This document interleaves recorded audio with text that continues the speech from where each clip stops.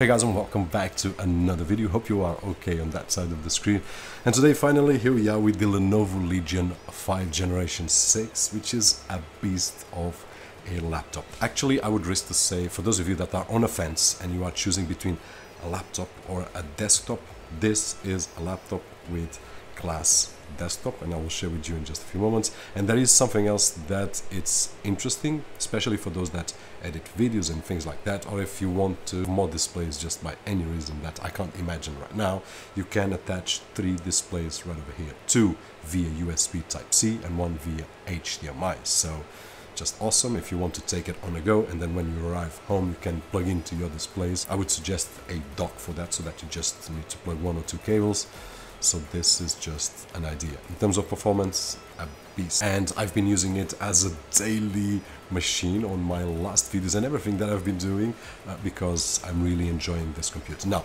really quickly in terms of specifications, because to me specifications mean a lot on a computer such as this one. It has the AMD Ryzen 7 5800H, which is a beast of a CPU, 3.2 gigahertz up to 4.4 gigahertz. It has 16 gigabytes of RAM DDR4 3200 megahertz and it can be upgraded up to 32 gigs. It has two DIMMs of 8 gigs and we will need to replace those two with 16 times 2 to be able to have the 32 if that's your case. Of GPU it has two GPUs, one which is the integrated GPU on the AMD Uh, CPU, which I believe that it's really nice to have these integrated GPUs. And then it also has the NVIDIA RTX 3060, which is a beast we have seen here on the channel. Actually, I've got one right over here and the performance is just awesome. Although it's a laptop GPU, it has a beast of a performance and I'll show you in just a few moments. But this to mention that Battery wise, it has a great balance. When it's doing light things like office work and things like that, it will use the integrated GPU, which is a low power consumer. And if you power up a game or anything else a little bit heavier, then it will ramp up with the uh, 3060 and you'll have a great performance, but the battery will drain a little bit fast. This particular model has an SSD of 512 gigs NVMe generation 3 and obviously it has this gorgeous display right over here 15.6 inches full HD 1920 by 1080 sorry with a IPS panel and the most surprising thing is that it has 160 Hertz refresh rate. So usually we have to trade off between IPS and other technologies like VA and so on and so forth to have better refresh rates and to have a lower latency. But in this case they have a latency of 3 milliseconds which is awesome on an IPS display and having a great refresh rate of 165 Hertz with a few more things that I'll mention in just a few moments. Now let's talk a little bit about the keyboard. Really nice chiclet keyboard which is nice to type and a nice size trackpad. And it has Wi-Fi 6 which hopefully I will be able to test out with the router of with Wi-Fi 6 that I've got uh, right over upstairs and Bluetooth 5.1.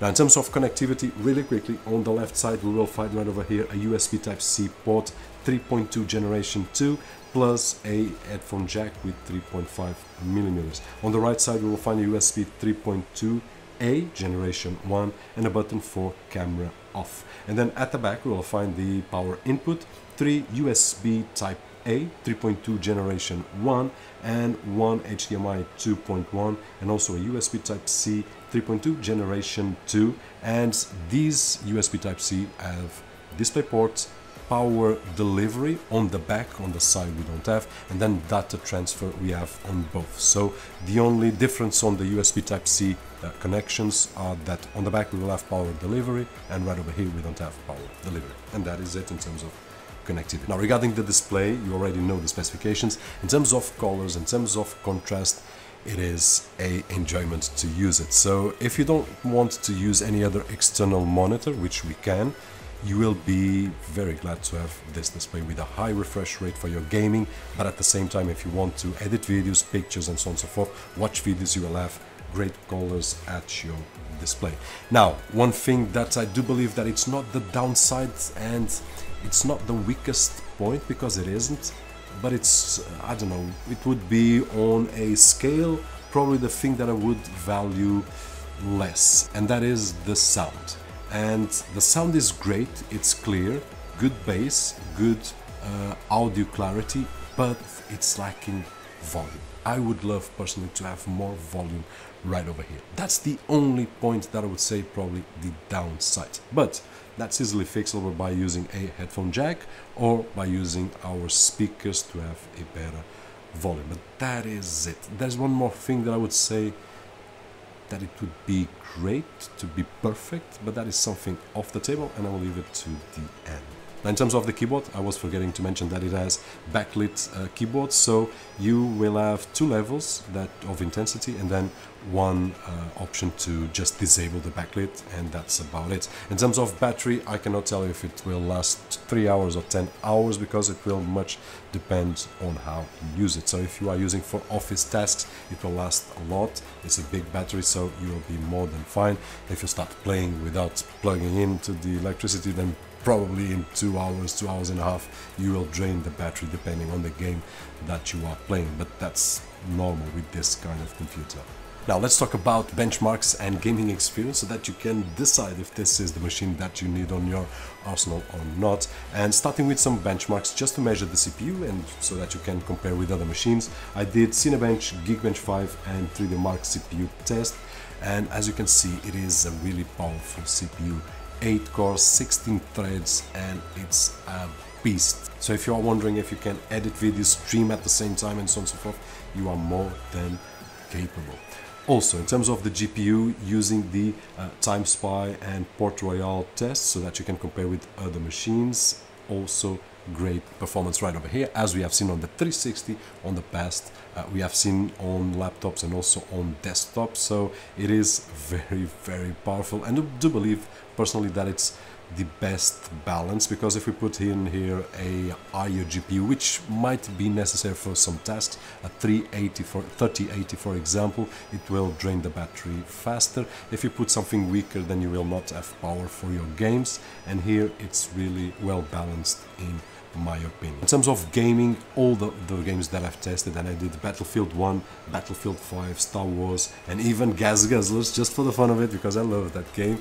And what I can say is that the frame rate is always, always above 100. So we are talking about 100, 150 frames per second on these games, presets at maximum 1080 resolution with a refresh rate of 160 Hz, which is just awesome for our playback.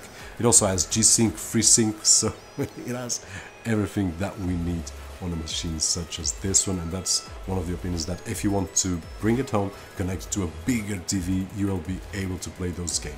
Now to wrap up in terms of video editing because this is the kind of machine that will be used for video editing.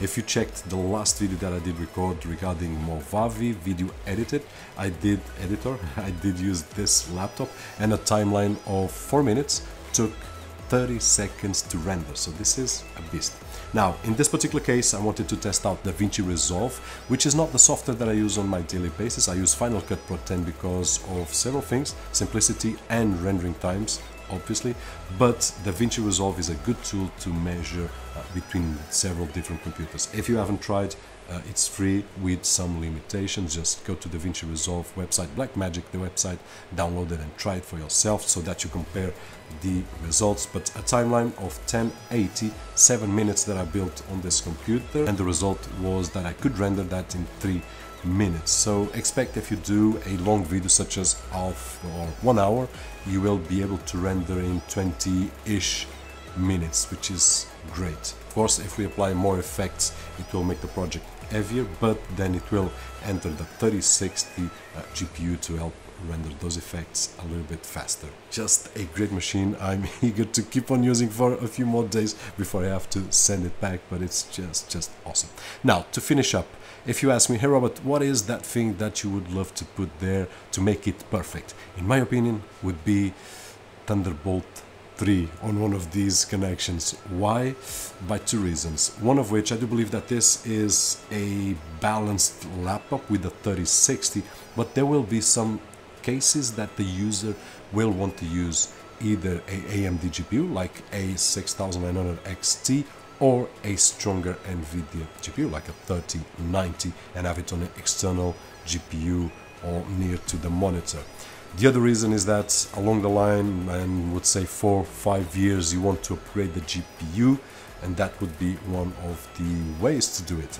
On the other hand, getting back to reality, probably that would mean to pay a lot more for this computer, and honestly, there won't be many users that will use it that way. I would, but I believe that many of you just wouldn't, and it would make the computer a lot more expensive. And probably that's the reason that Lenovo did this choice, which at the end of the day probably is the smartest choice. And guys, this is it. Hope that the video was helpful in some way, and if it was, don't forget that usual thumbs up right over there, which is really appreciated right over here. My name is Roberto Jorge, and as always, I'll see you guys on the next one.